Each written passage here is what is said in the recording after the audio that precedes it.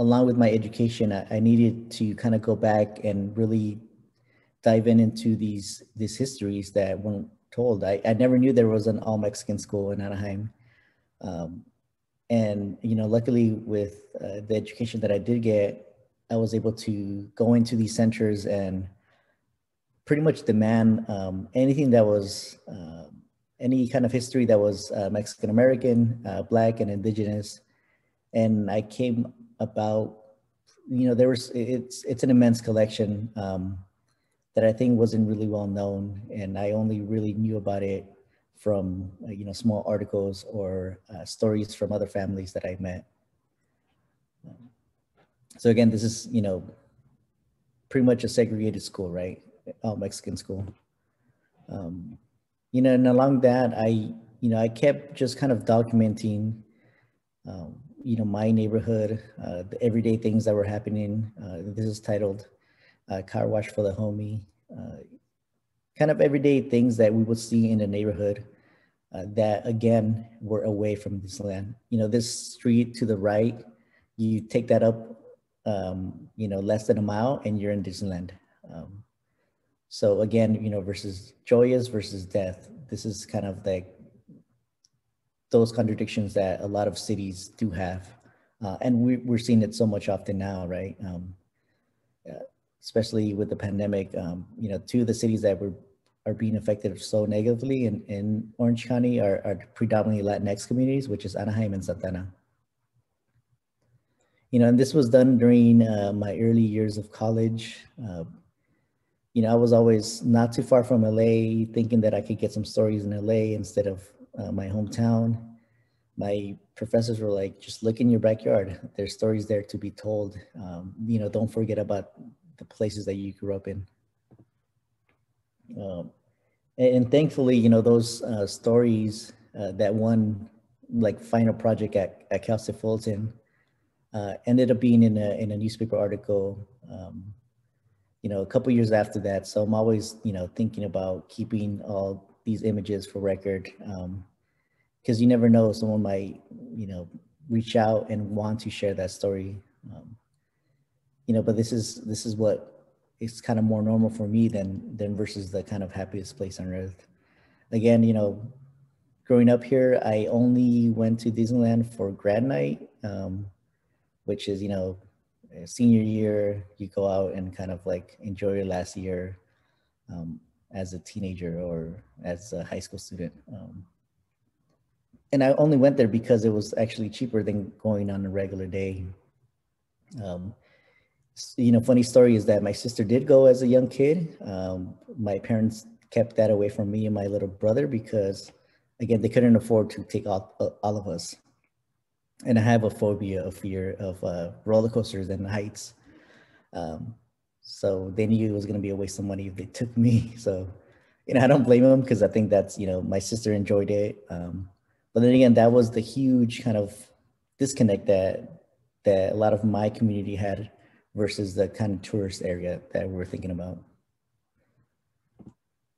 Um, and, you know, I think uh, when making work, we're making new work, you know, all these things kind of came up and uh, growing up around a lot of folks that do have tattoos, you know, that aesthetic was something that was um, always something very close to me. And uh, you know, I somehow ended up finding these uh, quote unquote prison tats from a company that sells um, to supposedly Hollywood film sets. Um, and they had these tabs that were definitely marked and, and kind of put into this kind of stereotypical uh, image of people and mostly uh, in California, mostly uh, kind of stereotyped a lot of black and brown people. Um, you know, because these are the tattoos that I did see on people that I knew you know, not specifically the same one, but the rose, um, uh, you know, some that I also carry myself. Um, and I think, you know, this brought up a lot of, uh, a lot of memory for me because I do have, you know, family that are, are incarcerated and are, um, you know, have been incarcerated and then kind of, um, you know, left to kind of fend for themselves. Um, so I decided to kind of do a little bit of, of a playful take on this um, stereotype that, you know, we think tattoos are not, um, I mean, they're so super common, uh, but there's still these things that you notice in in media. Um, I mean, I'm thinking of like Shia LaBeouf's recent um, movie. Uh, you know, he turns. He doesn't say he's a Chicano or a, or Latinx folk, but that is that culture that surrounds LA, right? Um, so this is this is was the the kind of end of result of that, and I'm still working on on me work of this, um, and finding folks that you know are black and brown and don't usually don't have tattoos, right? You know, these two friends of mine uh, don't have tattoos, um, are not quote unquote like gang affiliated, and so these temporary tattoos have a double uh, double symbols, right? These are temporary, and then on top of temporary, right? The the tape and and you know I could easily make this into um, trying to make these tattoos super realistic on on the bodies, but I think that was going to be taken away from that idea that um, you know these stereotypes are pretty comedic and and and pretty hurtful, and I think um, you know, seeing this double temporality of uh, of tattoos um, was something that I think can can also still speak about that issue uh, that we have in communities. Um, you know, as as many of you know, like the and, and, this is just kind of also on a personal level, right? I I have experiences of being um, stopped by police, and and some of the first things they do is lift up my shirt and see and want to see if I have that that quote unquote uh, tattoo that is affiliated with a gang or even just my city, right? Um, and they asked me about other tattoos that I do have on my bodies that are more um, more viewable, more um, you know on view on my body. Um, and you know this this took literally one day. My uh, friends were in the studio hanging out, and I brought this idea to them. Um, I always have tape laying around, um, and it was something simple that I think I could easily keep doing it. I want to do it on my father because he's he's a very like older Mexican dude, um, you know, mustache and and he would never have a tattoo uh, on his body ever. So I think this would also kind of point to that um that stereotype. Um, and it's this is also like part of that series that I I do talk about a lot. And I think, again, I'm always going back to the personal because I think those personal stories really get to that point that you really want to do with your work. Um, you know, for so many years, I was avoiding uh, the personal because that brought back a lot of trauma, a lot of memories that I did not really want to go back to. But I think uh, it was necessary for me to deal uh, with this trauma. And as artists, sometimes the only way to uh, really kind of heal is is for me at least is making art. Um, you know, again, I, I you know talked to some friends that had this similar experience of um, of doing this simple gesture that speaks a lot about how to conform to to these kind of like Western ideas of uh, of you know being American. Um, and that was always me growing up too, right? I I remember my mother said, telling me at 12 years old that I tried to stop speaking Spanish. Um, and even though they didn't speak English, um, you know, how I was, how thinking of how I was going to communicate with them without, you know, without trying to speak Spanish because I wanted to be that, you know, I wanted to be more American. I wanted to be more white. Um, and I think that was really uh, traumatic when it came to kind of thinking about identity uh, of myself compared to you know what was happening around the world uh, and in, in the US. So this is that. Um, and then, um, you know, this is one of my more uh, longer based project called Origins and Displacements. And I think without any of the other work that I have done before, I would not be able to get to this this uh, this project because I think everything is uh, interconnected. Everything you do is interconnected and it leads to other stories um, afterwards. And I think that's super important, you know, because, um, you know, thinking about how I saw myself in this space, which was, you know, Anaheim. Um, at the time growing up, the demographics were changing. Um, now it's like 34, I don't know, 54% uh, Latinx and, and feeling a little bit, bit more comfortable now because, you know, I see people that are, that look like me around me. Um, but also, you know, that I didn't know that there was histories there before me, uh, that there was people struggling as well. Um, and uh, so this this um, image is called, you know, damn, I can't go on this side of the park. And I have a certain memory of playing soccer here.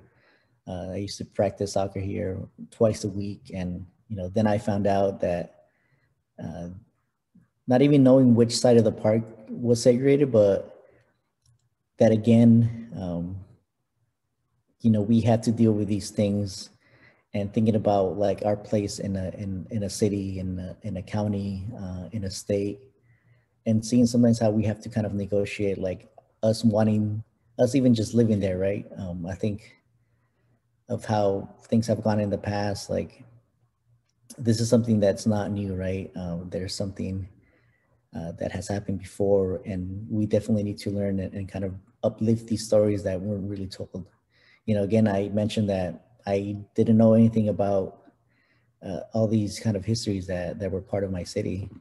Um, you know, I never knew that, you know, mostly brown women were packing the oranges um, and thinking that, you know, on a daily basis, I was drinking, you know, Sunkist orange juice and that, you know, down the street from where I grew up um, was this history that was there, uh, untold and, and you know, seeing the kind of joy in, in, um, and because of the, the proud work that we're doing in these spaces too.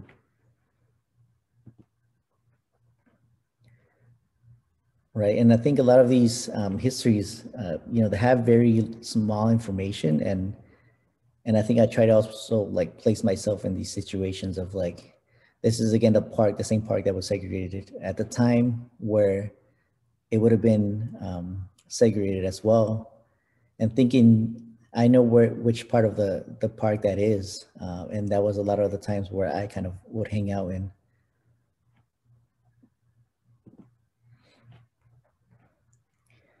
And um, you know, along with that, the kind of performance work that I was making with the signage work, I, you know, I still wanted to document on a daily basis, um, going out and, and and looking at these areas where.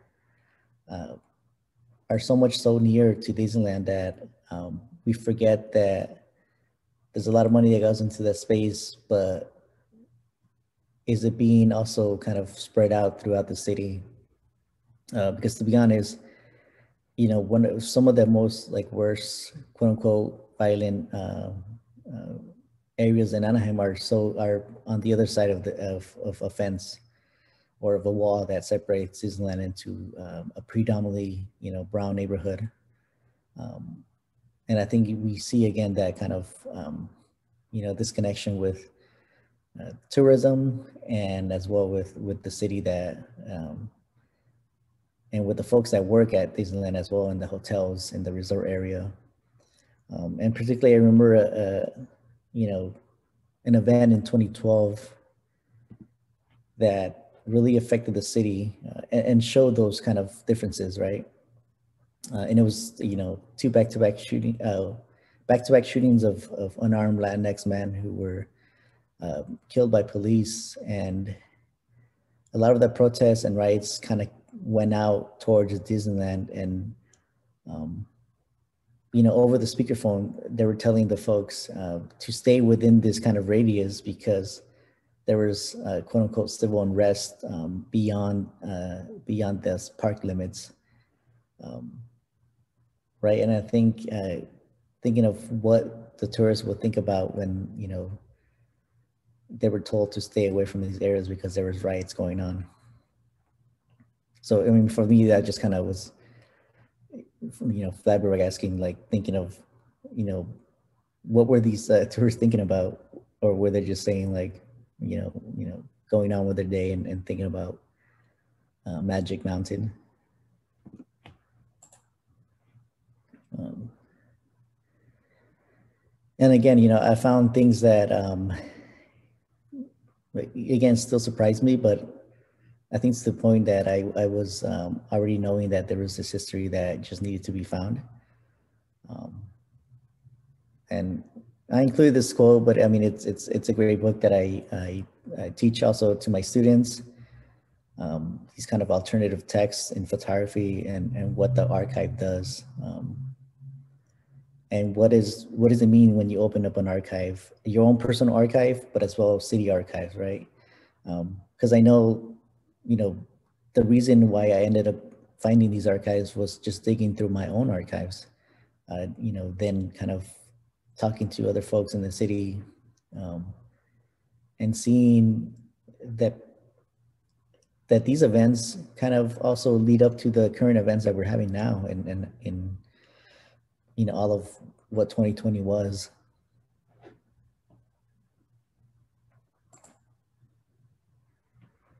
um, and i think a lot of my my work also really tries to elevate these small moments in in uh, in spaces that you know are really unseen as well. Um, we don't really, and, and specifically in, in, neighborhoods of color, we don't really use. I mean, there's Craigslist. There's all these other uh, apps that you can get, like um, you know, find apartments for rent. Um,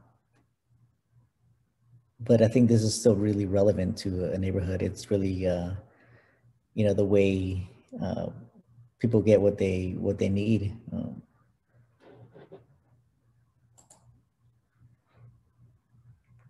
right? And I think I think portraits are really a, a nice way to kind of show who is behind all that, um, all those histories, right? I think a lot of us still have roots in, in different parts of, of, uh, of our cities and, um, you know, same thing as use the people that you have near you. You know, these are friends of mine, uh, folks that I meet through through uh, social media, and I ask them simple question, which is like, which spot do you like to hang out with with your friends? Um, you know, on, on your way to school or on your way back from school, um, which area do you kind of like? And, and I usually, I photograph with a, a bigger camera, uh, you know, medium format film.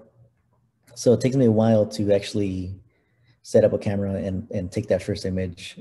So there's a lot of discussion, there's a lot of um, conversation uh, because, you know, I, I think you'll get a, a truer portrait um, with that with those conversations. Um, things come up, and and I think uh, they're super important. It, it's su super different than working as a photojournalist. I think, um, which I, I, I was for for many years. Um, you know, as a photojournalist, sometimes I felt that I was like parachuting into a community, getting what I needed, and kind of you know coming out. Um, you know, obviously, I think uh, photojournalism has changed a little bit. There's try they're also trying to kind of think about the issues with just doing that and, and how do we kind of um, really more center the community that we're coming into. I'm not sure if I saw a question, but I'm trying to. Um, Joe, I'm not sure uh, how many min more minutes I do have. Um, you're on mute, I believe. Um, how about four more minutes? Perfect. And William, I'm glad you brought that up. um, you guys can start going using the chat and posing questions. And then I will go ahead and send them to William and read them out. Okay. Perfect. Perfect. Um, so, I mean, I think uh, um, we'll be announcing a, a, a, a book uh, that I'll be publishing with a small uh, publishing house uh, that's just going to be solely on origins and displacements. Um, and I include, you know, I think uh, including portrait landscapes and uh, these images where, where I use myself in these spaces where I'm, I'm thinking about, um, you know, I'm this kind of, again, I'm not showing my face. I'm, I always kind of stay away from that. Um,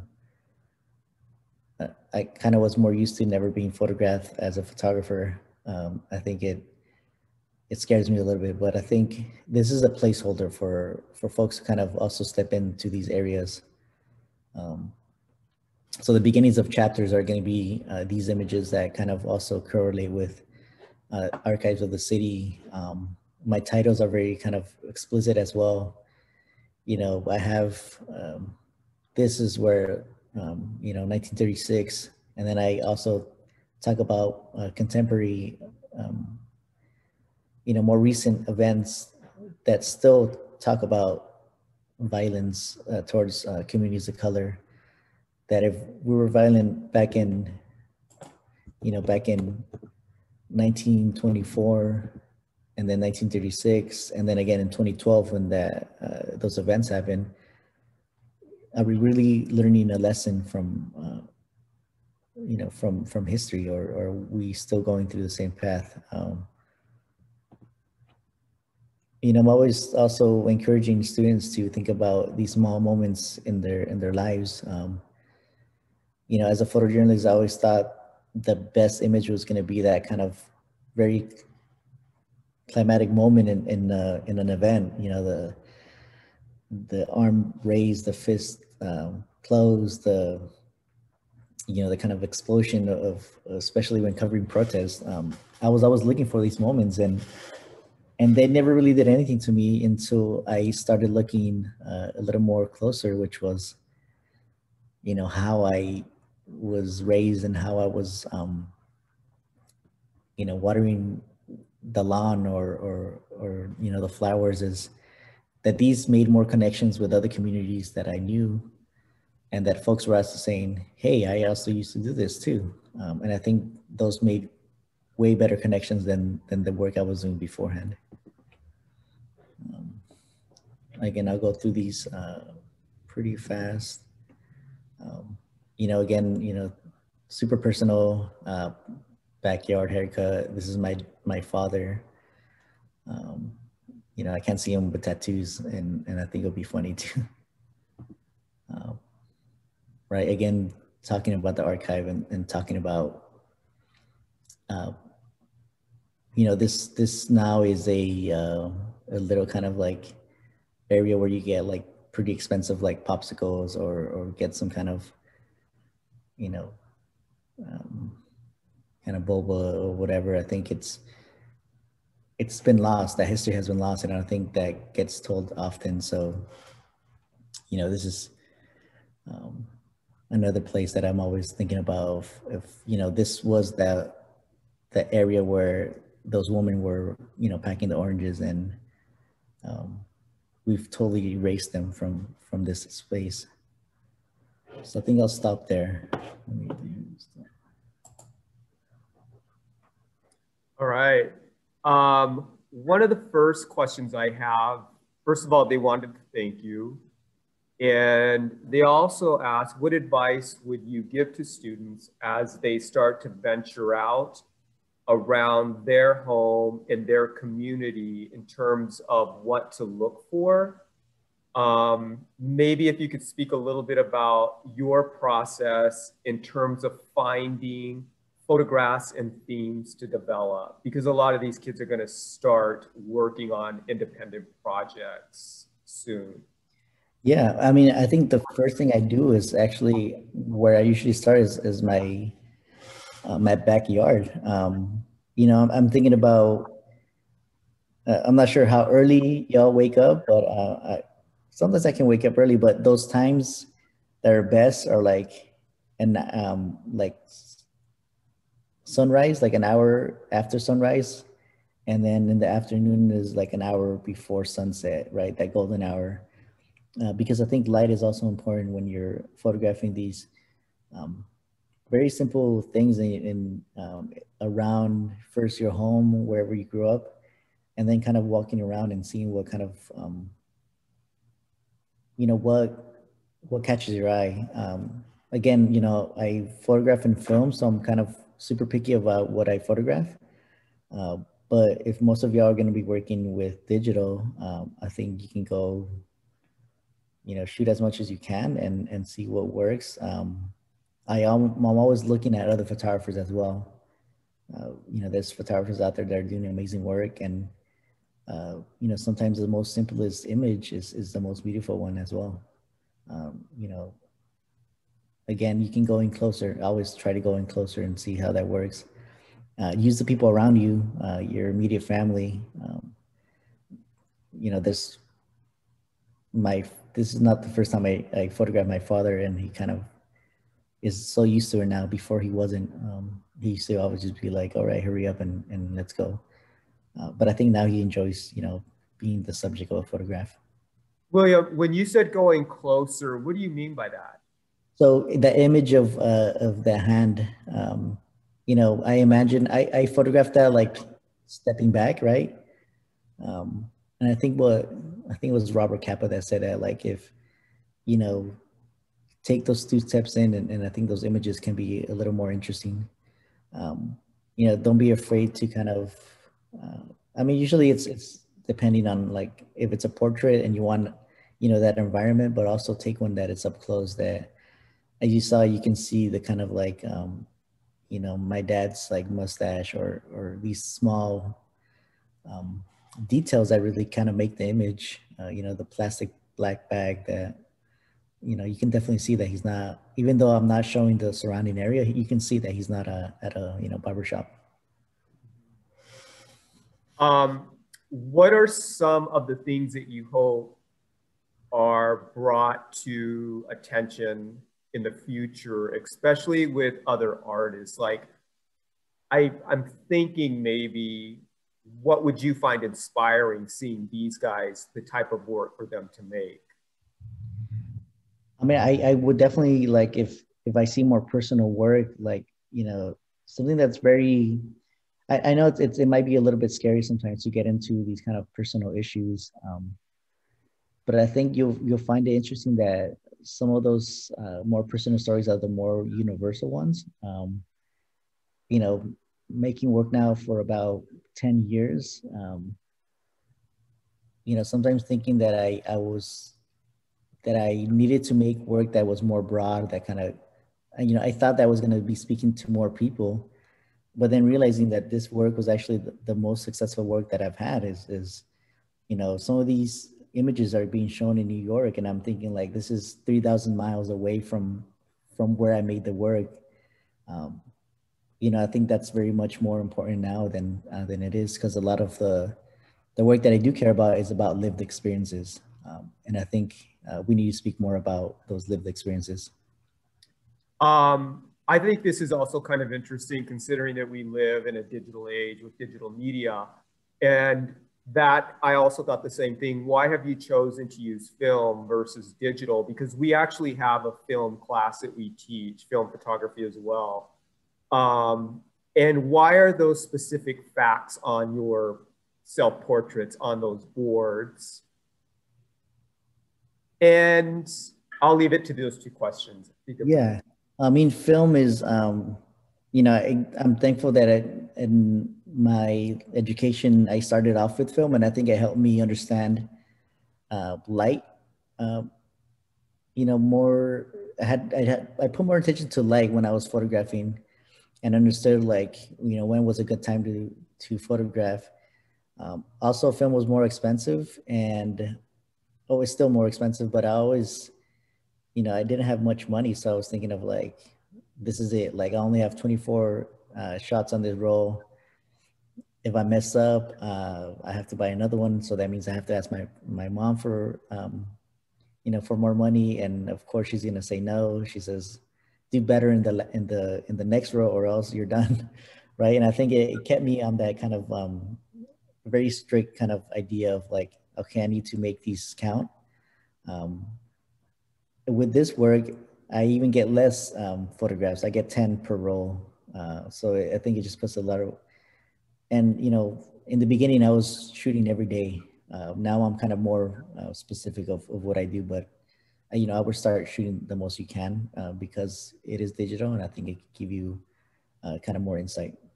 Um, and also, what? Why did you choose? Is that you holding up the board, and why did you choose those messages on the board?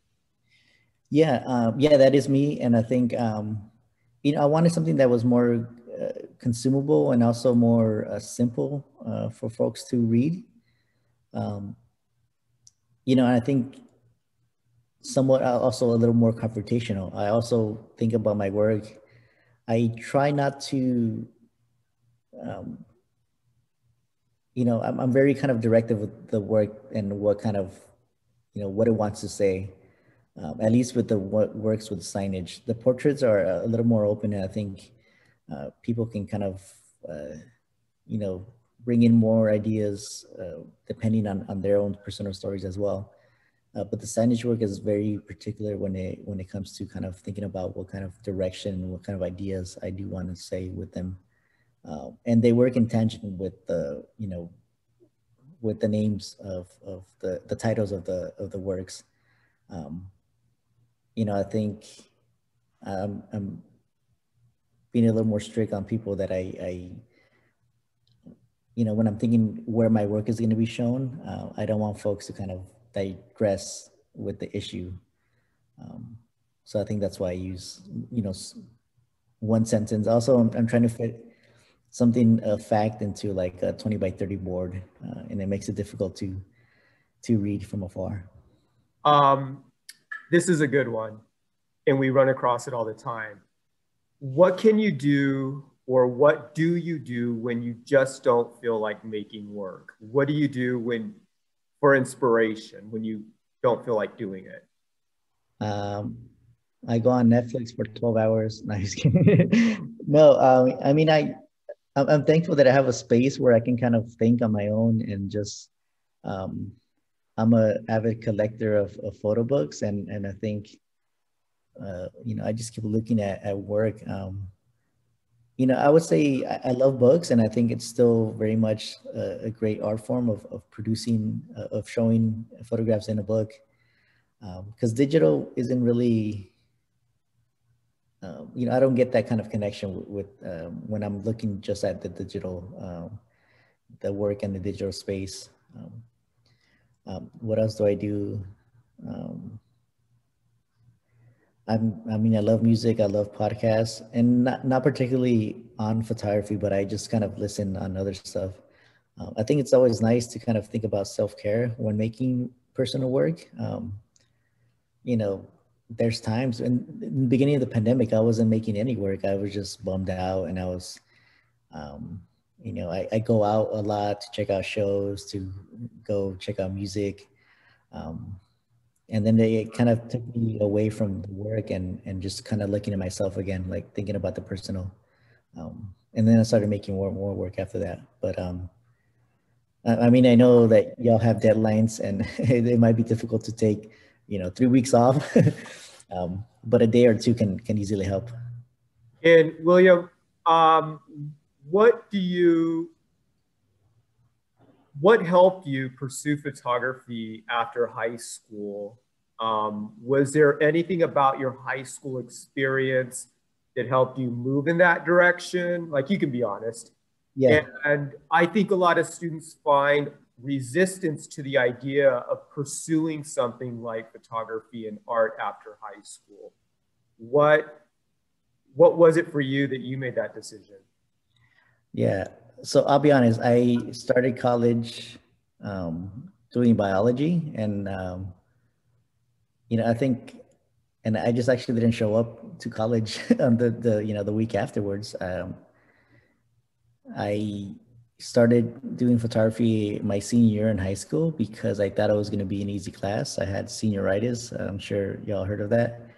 Um, you know, I was kind of in this um, in this space where I was like, ah, photography should be easy. Um, it, it, was one of the most difficult classes I took because you know you actually had to work with chemicals. Um, you had to think about uh, math, and and I was in uh, you know junior year and all, I was like a you know AP student. Um, so photography wasn't something that I, I thought would um, would make also my parents like happy because I wanted to be a doctor.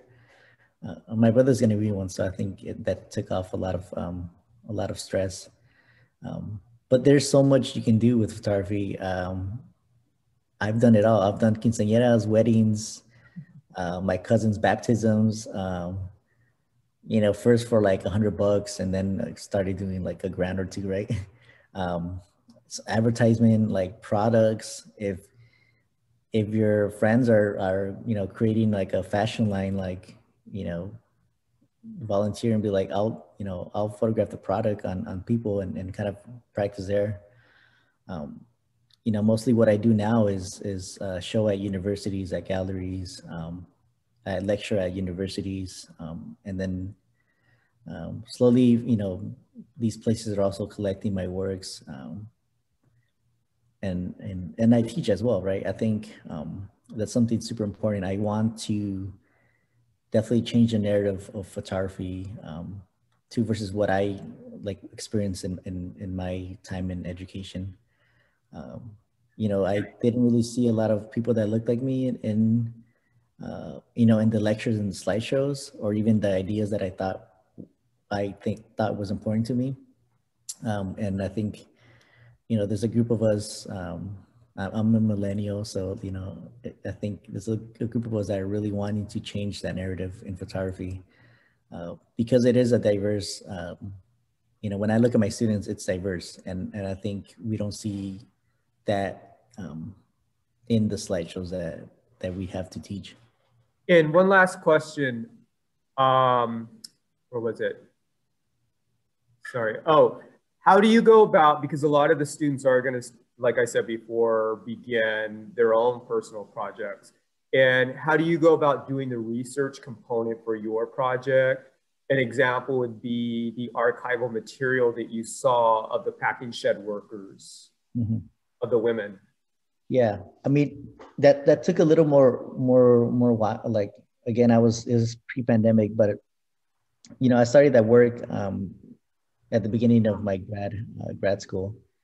Um, and it's i think i mean if the library was open you can easily request to look at some archives. You can um, you know now there's like digital archives that you can specifically you know look at at where you live where you grew up and and find some cool archives there.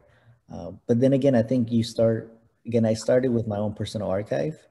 Um, you know one thing, fun thing to do is just kind of maybe recreate some of those childhood photographs that you do have and, and see how what that takes you. And, and um, you know i think the hardest thing to do is actually start photographing um, you know that project that you want to do or you know i think but the action of, of photographing uh, would just kind of find you know that helps you find the way of like what kind of project you want to do.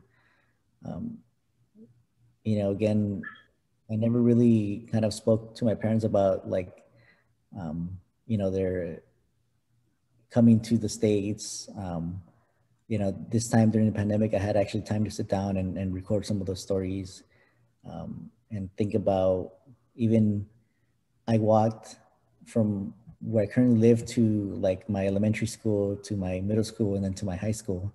And that just kind of brought up memories as well. Um, obviously y'all are younger. So for me, it was like, you know, bringing back memories from like 15 years ago. Well, yeah, we went over nine minutes. I just realized. Um, sorry.